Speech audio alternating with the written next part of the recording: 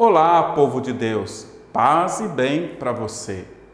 Olha, as reformas trabalhista e previdenciária que estão sendo promovidas pelo governo federal e aprovadas no Congresso, elas empobrecem ainda mais o nosso povo, comprometem a qualidade de vida dos pobres e o que ali está sendo definido só interessa ao grande capital, aos poderosos deste mundo.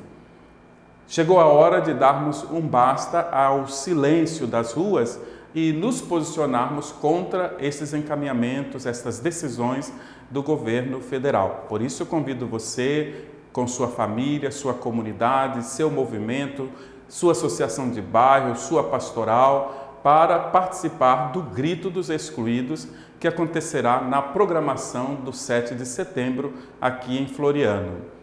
Por direitos e cidadania, a luta é todo dia.